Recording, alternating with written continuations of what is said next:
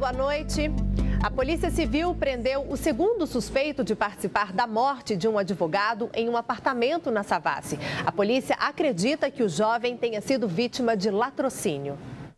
Uma equipe de policiais viajou até o Rio de Janeiro para prender Kendrick Alexander, de 18 anos. Segundo a polícia, o suspeito confessou ter matado o advogado. O outro suspeito, Brendo Igor Isidoro, foi preso dois dias depois do crime. Os dois são acusados de matar Pedro Juliano, de 32 anos, no dia 19 de fevereiro deste ano. Segundo a polícia, a vítima teria ido até o bairro Barro Preto, na capital, para buscar os dois suspeitos. Eles seguiram para o apartamento do advogado, onde teriam passado a noite. Durante essa permanência dos três na residência da vítima, ocorreu uma, uma discussão em relação a dinheiro. O Kendrick, ele afirma que pediu uma quantia de 400 reais para a vítima e a vítima se recusou a dar esse valor. Nesse impasse, o Kendrick acabou por agredir a vítima, imobilizá-lo e deixou ele desfalecido, o momento em que ele pegou uma faca na própria cozinha da vítima e efetuou um corte profundo no pescoço da vítima. De acordo com a polícia, depois de matarem a vítima, os dois suspeitos fugiram, levando uma mala com vários pertences. Eles teriam usado um táxi na fuga até o centro da cidade. Ambos vão responder pelo crime de latrocínio previsto no artigo 157, parágrafo 3 do Código Penal. Um professor de uma escolinha de futebol aqui da capital foi preso suspeito de abusar de três alunos. Diego Tadeu Gomes Silva, de 27 anos, trabalhava em uma escolinha de futebol no bairro Glória, na região noroeste de Belo Horizonte. Ele é suspeito de ter se aproveitado disso para abusar sexualmente de três adolescentes, que têm entre 13 e 14 anos. Eles praticavam atos libidinosos dentro da própria escola. Dentro da escola mesmo, ou tinha outras pessoas, mas atrás de uma bancada aqui, onde ficavam guardados alguns objetos de uso da, do futebol. O caso começou a ser investigado em janeiro deste ano depois que a mãe de um dos alunos da escola flagrou algumas conversas entre o filho e o professor no celular. Questionado, o menino confessou os abusos. Ela então procurou a polícia. Com base nessa denúncia, nós ele trouxe outras possíveis vítimas, outros adolescentes também, alunos da, da referida escola. Nós intimamos esses outros adolescentes que confirmaram também que foram é, abusados sexualmente por esse né, treinador da escola.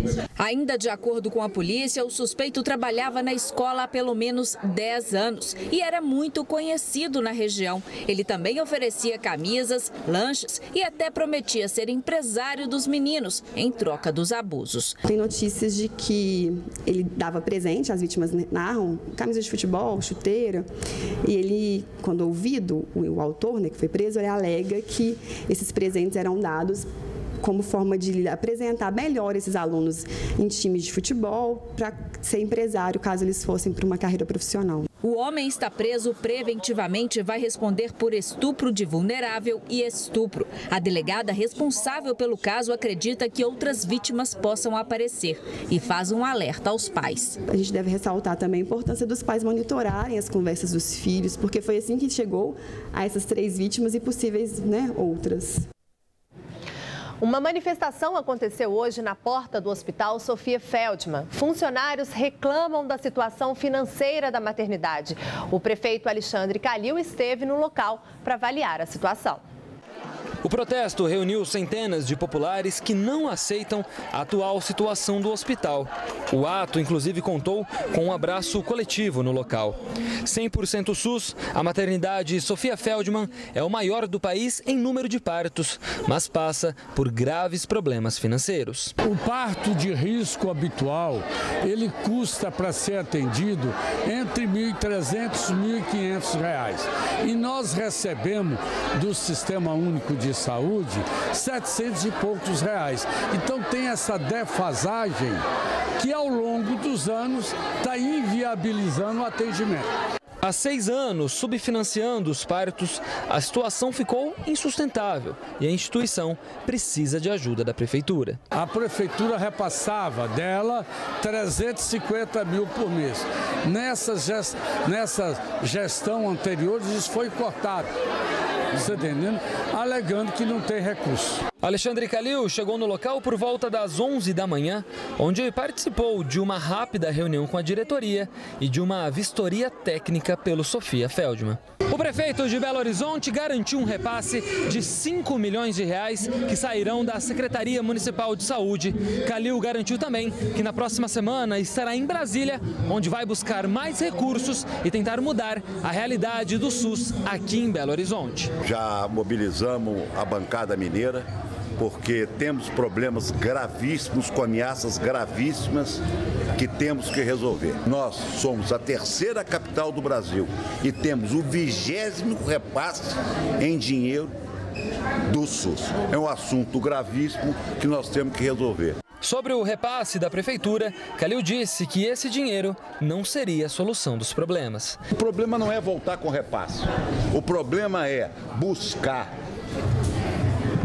colocar o dinheiro do SUS em terceiro lugar aqui. Esse é o problema de Belo Horizonte. Porque se for 200 mil resolver, está resolvido. Aí nós não precisamos de ir a Brasília. Então vamos parar com isso. Nós temos que cobrar do governo federal que bote dinheiro aqui dentro com decência, porque não é só 200 mil, não. É, é de todos os hospitais. Já são 101 mortes por febre amarela e a doença se aproxima cada vez mais da capital. A prefeitura tem tomado algumas medidas para conter a propagação da doença. Depois que macacos começaram a ser encontrados mortos, o Parque das Mangabeiras, da Serra do Curral, além do Mirante, foram interditados devido ao risco de contaminação.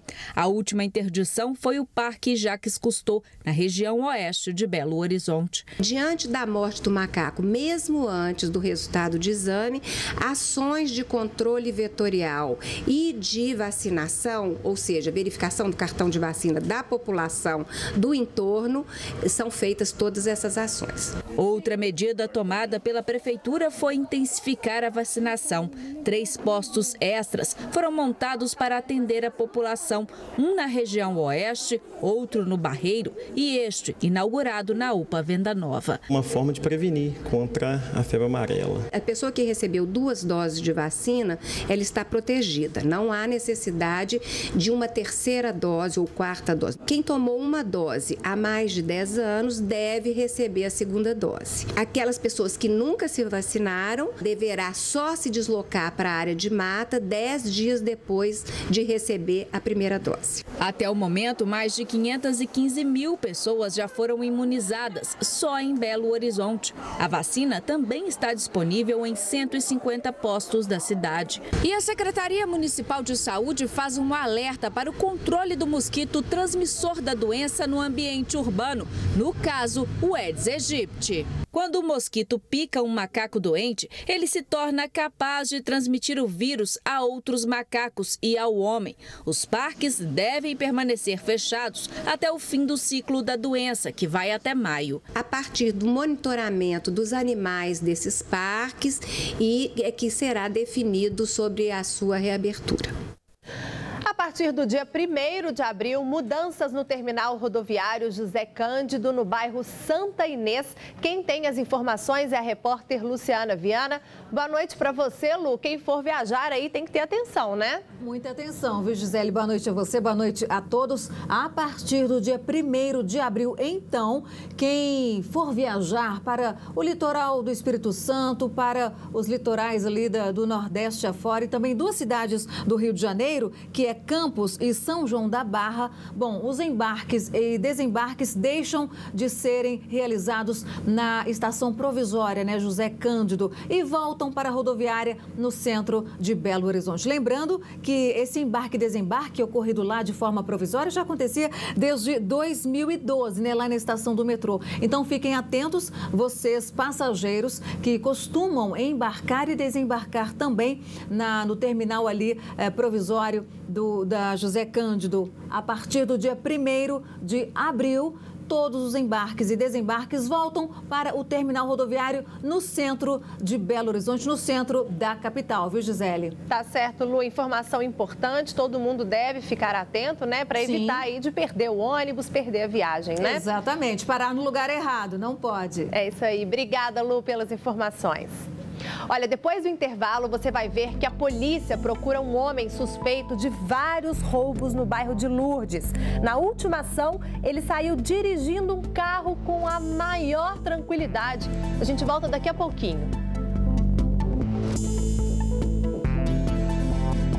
Chove forte aqui em BH e também na região metropolitana e a gente volta a conversar com a Luciana Viana. Ô Lu, você tem aí algumas informações dos estragos dessa chuva, né? Sim, Gisele, a Defesa Civil Municipal, inclusive, emitiu um alerta em relação a três regiões: a Centro-Sul, a Barreiro e a Oeste, onde nesta tarde choveu bastante. A gente está acompanhando aí, Gisele e telespectadores, algumas imagens. Vejam só, né? Uma verdadeira, uma verdadeira lagoa ali. Esta é a Avenida Prudente de Moraes, a gente está acompanhando aí. Esquina com Joaquim, Joaquim Murtinho, viu? Avenida Prudente de Moraes, esquina com Joaquim Murtinho ali no Cidade Jardim. Vejam só, né? Os carros se arriscando ali, passando nessa verdadeira lagoa. Agora, houve também, olha só, gente, o céu bastante carregado, houve também registro de granizo na Avenida Nossa Senhora do Carmo, no bairro Sion. Houve também ali na Tereza Cristina, próxima Avenida Amazonas, o córrego Ferrugem transbordou. Gisele, e não é só nessas áreas também não, viu? Avenida Mário Werneck ali no Buritis também houve um alagamento ali a uma universidade. Então, muita atenção, a Defesa Civil Municipal pede aí prudência aos motoristas, aos pedestres, já que choveu bastante nessa região oeste, Barreiro, Centro-Sul e pode chover a qualquer momento forte de novo em outras regiões de Belo Horizonte. Fica aí o alerta. Tá certo, Lu. Obrigada pelas informações. Moradores do bairro de Lourdes estão assustados com a onda de assaltos na região. Eles acreditam que o mesmo criminoso age por lá há pelo menos um ano e esse bandido já é procurado pela polícia. Essas imagens de segurança de um prédio no bairro Lourdes mostram a ação do criminoso. Ele pula o muro da garagem e vira uma das câmeras para não ser identificado. Logo após, entra naturalmente com muita calma no local caminha pelos corredores e carrega uma mochila nas costas. O ladrão assalta os apartamentos que estão com a janela ou alguma porta aberta. Rouba geralmente, segundo as vítimas, objetos de fácil acesso, como relógio, celular e notebook. O assaltante é especialista também em roubar carros. Nesse momento, dá para ver ele chegando na garagem, aperta um alarme e vai até o veículo para roubar os pertences que estão dentro dele. Momentos depois, entra em outro carro e leva o veículo. O criminoso age em prédios que têm porteiro e câmeras de segurança. Segundo relatos, o assaltante age há mais de um ano. Integrantes do MST invadiram uma propriedade do empresário Ike Batista em Itatiaiuçu, na região central de Minas. A ação contou com cerca de 100 mulheres e o local deve abrigar inicialmente 150 famílias, segundo o MST. A fazenda Santa Terezinha tem 3 mil hectares e, de acordo com o grupo, está improdutiva há seis anos e poderia ser usada na reforma agrária. A Polícia Militar acompanha a ação. Agora o futebol, logo mais o Cruzeiro entra em campo contra o Murici, o time de Alagoas, pela Copa do Brasil. E o técnico Mano Menezes resolveu fechar o último treinamento da equipe e fazer muito mistério antes de enfrentar o adversário. No Cruzeiro, a ordem é respeitar o Murici, adversário desta quarta-feira. Vamos lá com, com o intuito de jogar futebol, é, independente do campo que nós vamos jogar. O Cruzeiro vai estar sempre buscando fazer o seu melhor, respeitando a equipe adversária, mas sabemos que o nosso intuito é ir lá, vencer esse primeiro jogo e trazer uma boa vantagem aqui para o segundo. O respeito é tanto por aqui que o técnico Mano Menezes decidiu fechar o treinamento da véspera do jogo. Esconder o time pode ser uma forma de dificultar a vida do adversário. E nem adianta tentar descobrir. Olha, mas se for olhar pela questão do rodízio, você ficou de fora no fim de semana. A gente já pode começar escalando a equipe com você? Como é que é? Não sei. Eu acho que é questão do Mano mesmo. Ele, ele tem os seus, os seus estudos, assim, né? A sua maneira de pensar, de como fazer esse, essa, essa mesclada, assim, para dar continuidade e ritmo para todo mundo, para que todo mundo venha estar é, tá crescendo e todo mundo venha ajudar o Cruzeiro a sair vencedor. As características do jogo a gente já imagina. Em um campo complicado, a bola parada pode prevalecer. O Cruzeiro estudou o adversário para evitar qualquer surpresa. Tem um, um grupo de profissionais que passam essas informações, que passam alguns compactos assim da equipe, até mesmo para a gente é, poder prevenir de alguns lances, de alguns pontos positivos da equipe deles. Sempre tem esse, esse, essa examinação do, do conteúdo, do material, para que a gente possa ir lá e fazer um bom jogo. E logo mais às sete e meia da noite, o Atlético estreia na Copa Libertadores. O adversário é o Godoy Cruz da Argentina. O jogo realizado na cidade de Mendonça abre o grupo 6 e marca o início da quinta Libertadores seguida, disputada pelo time alvinegro. Depois do intervalo, a gente vai falar sobre o Dia Internacional da Mulher. Dados mostram que são muitas as que sofrem violência dentro de casa aqui em BH, mas elas não se deixam abater e mostram do que são capazes. É daqui do estado a primeira mulher a pilotar um helicóptero dos bombeiros. A gente volta já já.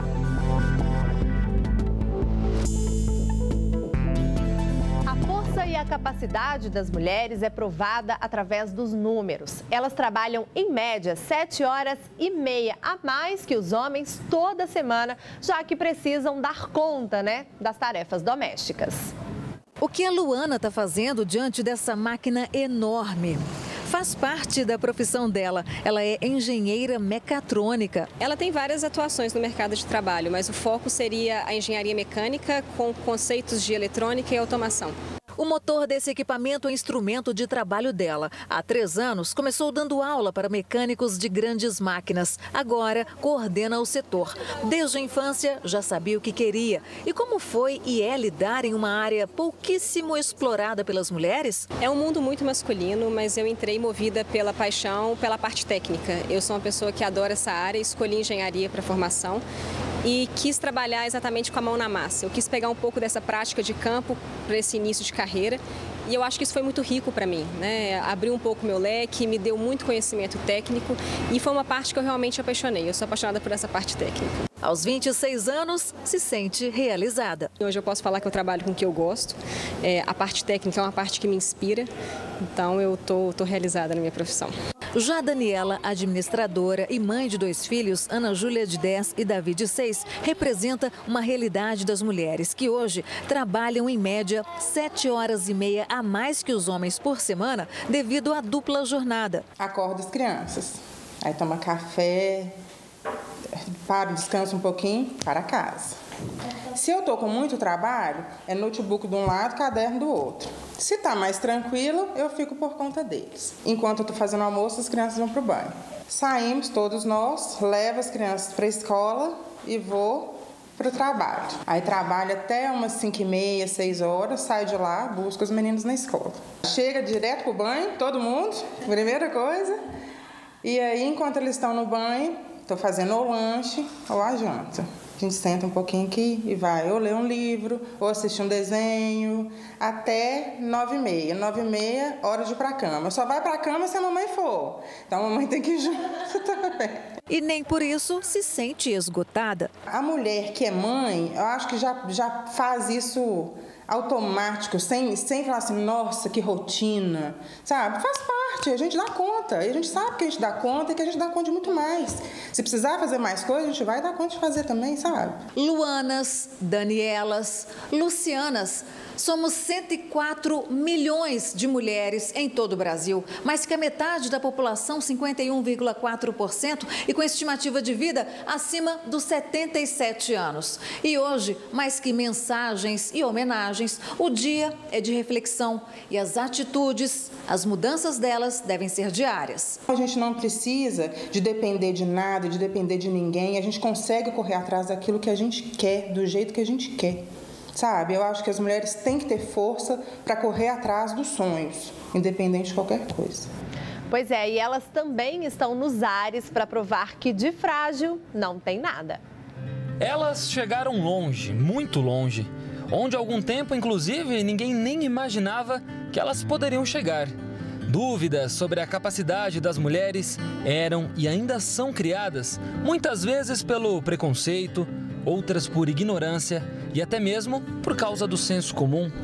Mas a história que nós vamos contar agora é mais uma daquelas que ajudou a mudar a realidade da mulher no Brasil.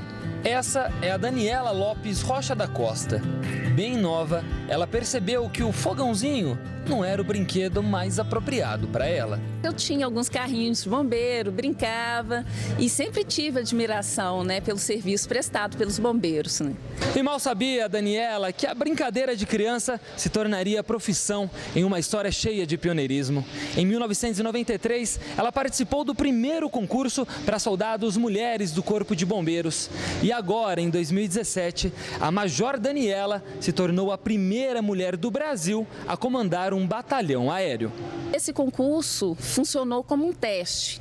Na verdade, ninguém sabia até onde poderíamos chegar, o que poderíamos fazer. E hoje eu tenho a maior satisfação de dizer que deu certo, né? Funcionou, foi provado que as mulheres podem estar aqui. Hoje estamos em todas as atividades desenvolvidas pelo bombeiro, em todas as áreas de atuação.